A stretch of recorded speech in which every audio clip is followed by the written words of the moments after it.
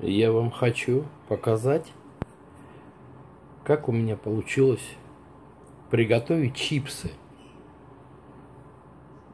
Чипсов, конечно, очень много, но мне это не подходило по разным причинам.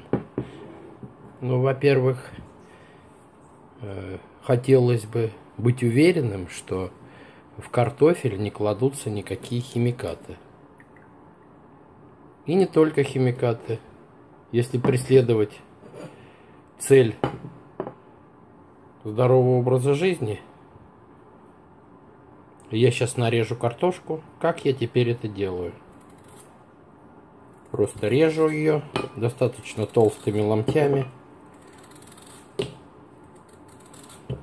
Это все, что надо для приготовления тех чипсов, которые я делаю.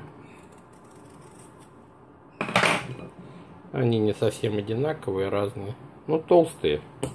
Так картофель порезать очень легко. Как сделать из них хорошие чипсы? Я думаю, что в магазинных чипсах применяются разные не очень здоровые методы приготовления. Возможно, кому-то кого-то заинтересует то, что домашние чипсы дешевле. Наверное, это так. Я давно уже не покупаю магазинных чипсов.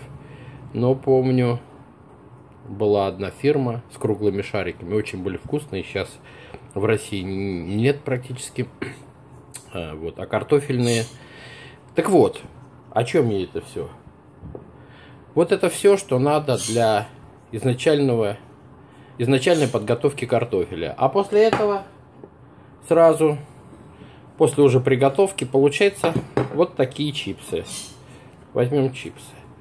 Вот что получилось из вот такого ломтя. Как это получается? Я сам не знаю, но есть метод приготовления. Никто здесь ничего с ним не делал. Не надувал, он целостный. Вот если разрезать, посмотреть, что там внутри. Внутри он пустой. Такие чипсы мне очень понравились. Они хрустят двойным своим дном. Они вкусные. Особенно это может быть интересно, если кто-то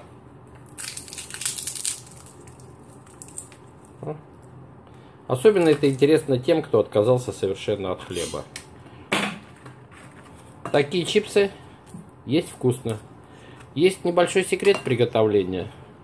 После вот такой нарезки сразу получаются чипсы. Но если кому-то интересно, пишите отзывы, оставляйте Э, вопросы или адрес, куда послать вам рецепт. Рецепт простой, но он не касается больше изготовления вручную, ничего делать не надо, надо просто э, горячими методами правильно а, обработать. И все.